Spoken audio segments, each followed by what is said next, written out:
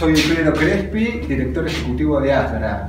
Los agentes de cambio hablaron de respetar los derechos y dar oportunidades. Esto es muy importante porque vos sabés que en la Argentina hay cerca de 5 millones de personas con algún tipo de discapacidad, según datos oficiales. El 60% de ellos tiene serias dificultades cuando son niños para ir a una escuela común a estudiar. El 70% de ellos tiene enormes dificultades para conseguir un empleo formal cuando son adultas. Y el 60% de ellas vive en condiciones de vulnerabilidad social.